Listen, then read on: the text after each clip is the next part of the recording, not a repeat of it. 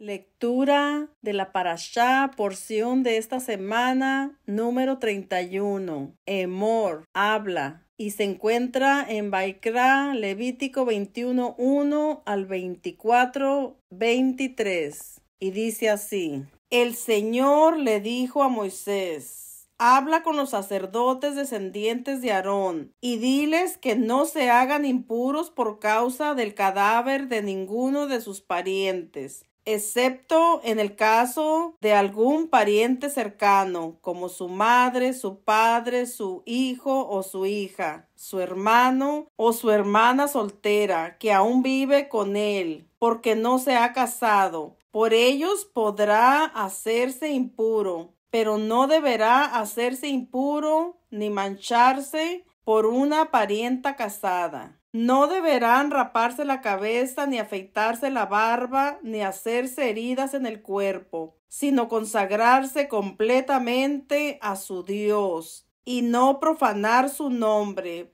porque ellos son los que presentan las ofrendas quemadas y el pan de su Dios. Así que deberán mantenerse consagrados. Tampoco deberán casarse con una prostituta, ni con una mujer violada o divorciada, porque han sido consagrados a su Dios. Manténlos apartados de todo, porque ellos son los que presentan el pan de tu Dios, y serán santos para ti, porque yo, el Señor, soy santo, y soy quien los hace santos. Si la hija de un sacerdote se rebaja y se convierte en prostituta, deshonra a su padre y deberá ser quemada viva. El jefe de los sacerdotes ha recibido plena autoridad para vestir la ropa sagrada por medio del aceite de consagrar que se le puso en la cabeza. Por lo tanto, no debe dejarse suelto el pelo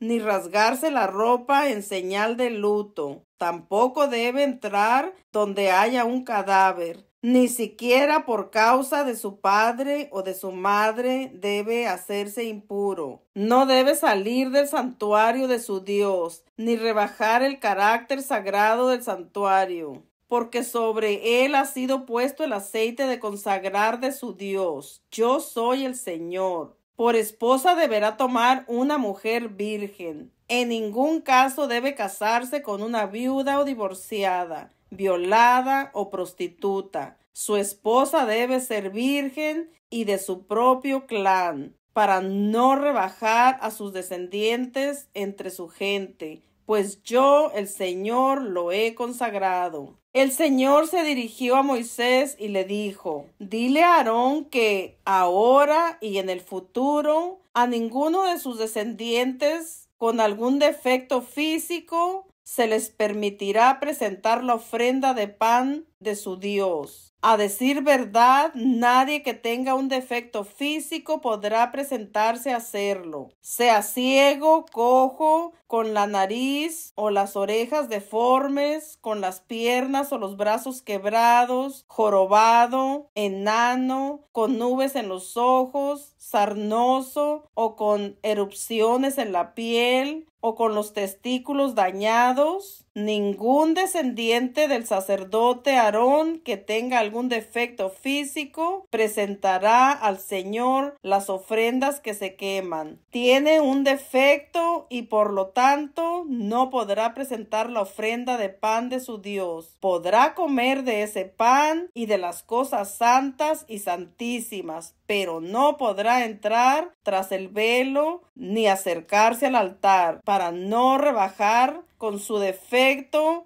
el carácter sagrado de mi santuario. Yo soy el Señor que lo ha consagrado. Y Moisés repitió esto mismo a Aarón, a sus hijos y a todos los israelitas. Capítulo 22. El Señor se dirigió a Moisés y le dijo, Di a Aarón y a sus descendientes que deben tener cuidado con las cosas santas que los israelitas me consagran, para que no profanen mi santo nombre. Yo soy el Señor. Diles que ahora y en el futuro, cualquiera de sus descendientes que, estando impuro, haga la presentación de las cosas sagradas que los israelitas consagran al Señor, será eliminado de mi presencia. Yo soy el Señor. Ninguno de los descendientes de Aarón que esté enfermo de lepra o sufra derrames comerá de las cosas sagradas hasta que haya sido purificado. El que toque alguna cosa impura o causa de un cadáver o toque a cualquiera que haya tenido un derrame de semen o el que se haga impuro por tocar un reptil o a un hombre que por encontrarse impuro hace impuro al que lo toca, será considerado impuro hasta el anochecer, y no podrá comer de las cosas sagradas si antes no se lava con agua. Quedará purificado al ponerse el sol, después de lo cual podrá comer de las cosas sagradas, pues son su alimento. No debe comer carne de un animal muerto o despedazado por una fiera, para no hacerse impuro con ella. Yo soy el Señor. Diles que cumplan mi precepto y que no carguen con ningún pecado por faltar a él. Y así no morirán. Yo soy el Señor que los ha consagrado. Ningún extraño al sacerdocio podrá comer de lo que es sagrado, ni el huésped del sacerdote, ni el que trabaje, para él podrán comer de lo que es sagrado. Si el sacerdote compra un esclavo con su dinero, el esclavo podrá comer de lo que es sagrado. También los que hayan nacido en casa del sacerdote podrán comer de sus alimentos. Si la hija del sacerdote está casada con alguien extraño al sacerdocio, no podrá comer de las ofrendas que se dan a los sacerdotes. Pero si es viuda o divorciada y no tiene hijos y vuelve a la casa de su padre, como cuando era soltera, podrá comer de los alimentos de su padre. Por lo demás, ningún extraño al sacerdocio podrá comerlos. Si alguien come involuntariamente de las cosas sagradas, tendrá que restituir al sacerdote lo que se comió, más una quinta parte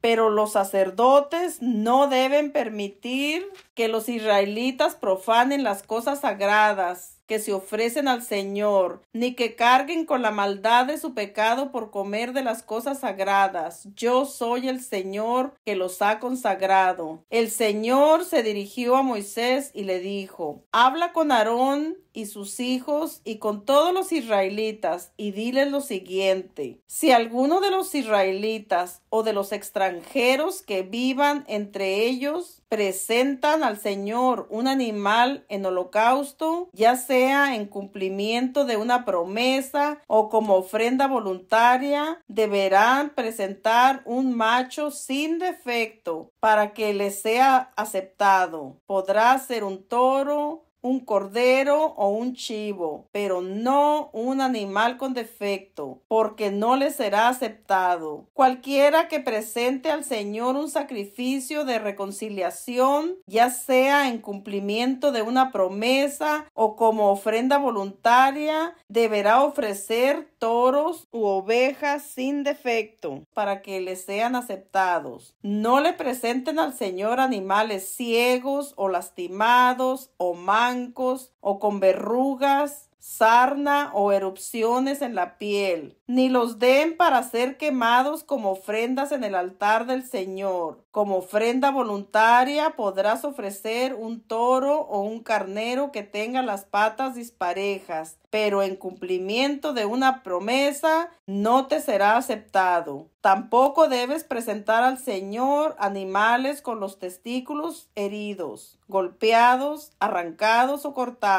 No practiquen estas cosas en su tierra. Tampoco reciban de un extranjero estos animales como alimento para el Dios de ustedes, porque son animales con defecto y no les serán aceptados. El Señor se dirigió a Moisés y le dijo, Cuando nazca un ternero, un cordero o un cabrito, deberá quedarse al lado de su madre durante siete días pero a partir del octavo día podrá ser aceptado para quemarlo como ofrenda al Señor. No mates en un mismo día a una vaca u oveja y a su cría. Cuando presentes una ofrenda de acción de gracias al Señor, hazla de tal manera que sea bien recibida. Además, cómela el mismo día y no dejes nada para el día siguiente. Yo soy el Señor. Pongan en práctica mis mandamientos, cúmplanlos. Yo soy el Señor. No profanen mi santo nombre, y así seré santificado entre los israelitas. Yo soy el Señor, que los ha consagrado a ustedes y los ha sacado de Egipto para ser su Dios. Yo soy el Señor. Capítulo 23.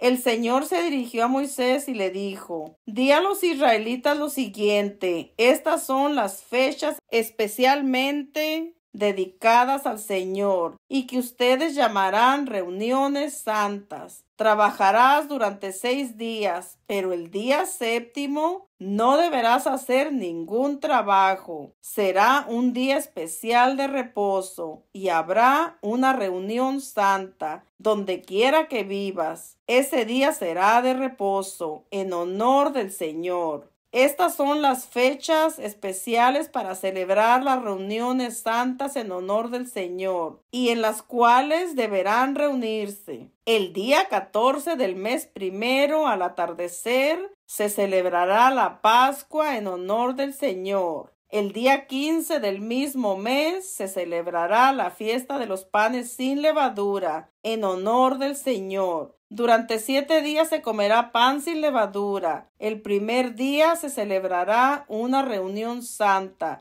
No haga ninguna clase de trabajo pesado. Durante siete días deberán ustedes quemar ofrendas al Señor y el día séptimo celebrarán una reunión santa. No deberán realizar ninguna clase de trabajo. El Señor se dirigió a Moisés y le dijo, Di a los israelitas lo siguiente, cuando hayan entrado ustedes en la tierra que yo les voy a dar, y hayan cosechado su trigo, deberán presentar al sacerdote el primer manojo de su cosecha al día siguiente del día de reposo. El sacerdote lo presentará al Señor como ofrenda especial para que sea aceptado. Y el mismo día en que presenten el manojo, presentarán también un cordero de un año sin defecto, como holocausto en honor del Señor. Traerán además cuatro kilos y medio de la mejor harina amasada con aceite para presentársela al Señor como ofrenda quemada de aroma agradable. Como ofrenda para derramar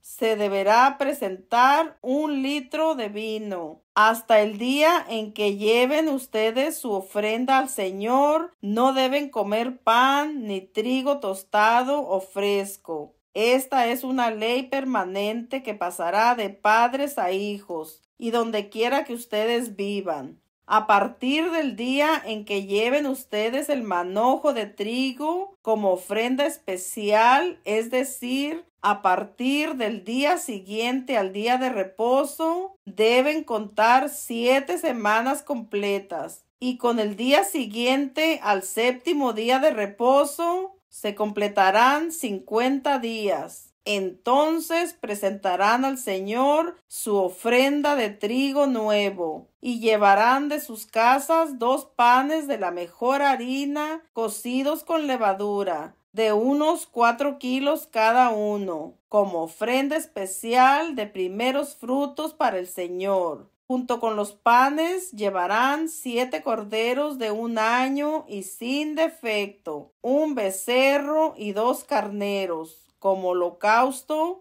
en honor del Señor, ofrenda quemada de aroma agradable a Él, además de sus ofrendas de cereal y de vino. Ofrecerán además un chivo como sacrificio por el pecado y dos corderos de un año como sacrificio de reconciliación. El sacerdote ofrecerá los animales como ofrenda especial en presencia del Señor, junto con el pan de los primeros frutos, y los dos corderos serán consagrados al Señor para el sacerdote. Ese mismo día deberán celebrar ustedes una reunión santa y no hacer ninguna clase de trabajo pesado. Esta es una ley permanente que pasará de padres a hijos y donde quiera que ustedes vivan. Cuando llegue el tiempo de cosechar, no recojas hasta el último grano de tu campo, ni rebusques las espigas que se hayan quedado. Déjalas para los pobres y los extranjeros. Yo soy el Señor, el Dios de ustedes. El Señor se dirigió a Moisés y le dijo, Di a los israelitas lo siguiente, el día primero del mes séptimo celebrarán ustedes un día de reposo y una reunión santa conmemorativa con toque de trompetas. Deberán quemar una ofrenda en honor del Señor y no hará ninguna clase de trabajo pesado. El Señor se dirigió a Moisés y le dijo, El día diez del mismo mes séptimo será el día del perdón. Deberán celebrar una reunión santa y dedicar ese día al ayuno y quemar una ofrenda en honor del Señor. No hagan ningún trabajo ese mismo día porque es el día del perdón, en que ustedes obtendrán el perdón ante el Señor su Dios. El que no dedique ese día al ayuno, cualquiera que sea,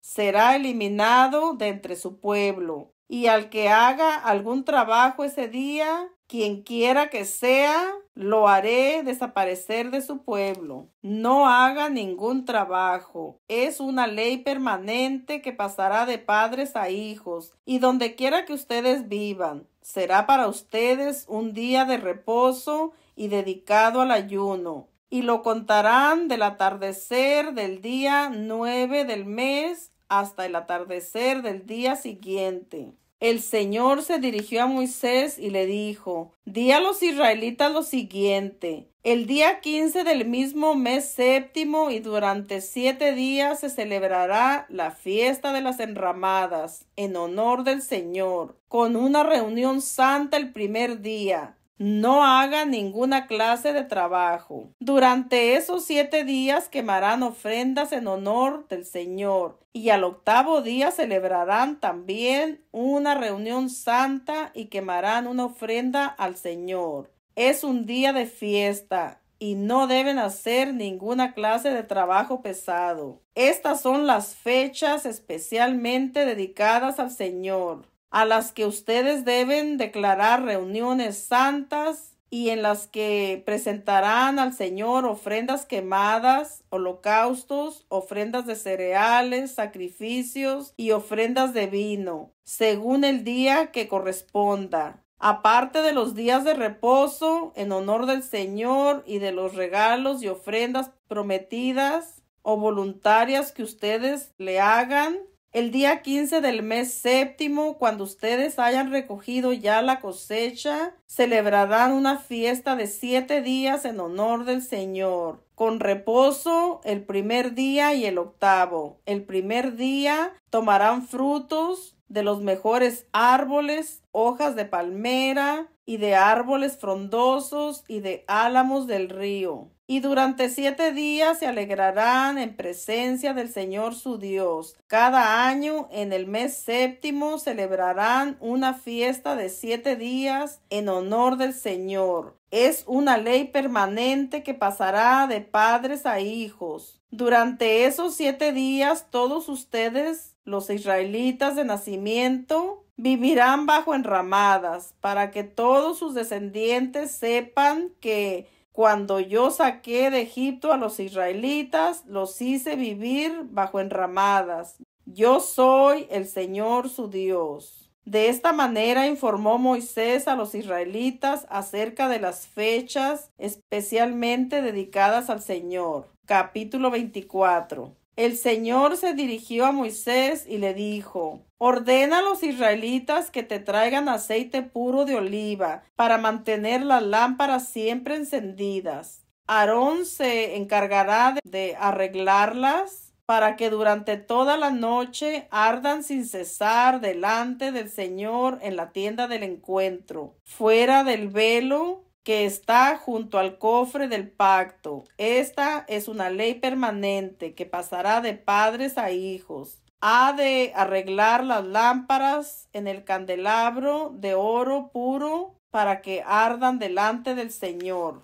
Toma de la mejor harina y cueste dos tortas de cuatro kilos y medio cada una y ponlas sobre la mesa de oro puro que está ante el Señor en dos hileras de seis tortas cada una. Pon en cada hilera incienso puro que le servirá al pan como ofrenda de reconciliación quemada en honor del Señor. Esto deberá ser puesto sin falta ante el Señor cada día de reposo, como un pacto eterno por parte de los israelitas es la parte que les corresponderá siempre a Aarón y a sus descendientes, los cuales deberán comer ese pan en un lugar santo, porque de las ofrendas que se queman en honor del Señor, esta es una de las más sagradas. Entre los israelitas había un hombre nacido de madre israelita y de padre egipcio. Su madre se llamaba Selomit y era hija de Dibri, de la tribu de Dan. Ese hombre y un israelita tuvieron una discusión en el campamento durante la cual el hijo de madre israelita ofendió y maldijo el nombre del Señor. Entonces lo llevaron ante Moisés y lo tuvieron bajo vigilancia mientras el Señor les decía lo que tenían que hacer. Y el Señor le habló a Moisés y le dijo, saca del campamento al que me maldijo, que pongan la mano sobre su cabeza todos los que oyeron y que lo maten a pedradas todos los de la comunidad. Por lo que toca a los israelitas, diles lo siguiente. El que ofenda y maldiga el nombre del Señor su Dios, tendrá que cargar con su pecado y será muerto a pedradas por toda la comunidad, tanto si es extranjero como si es natural del país. Si ofende el nombre del Señor, será condenado a muerte. El que le quite la vida a otra persona, será condenado a muerte. El que mate una cabeza de ganado, tendrá que reponerla, animal por animal. El que cause daño a alguno de su pueblo tendrá que sufrir el mismo daño que hizo, fractura por fractura, ojo por ojo, diente por diente. Tendrá que sufrir en carne propia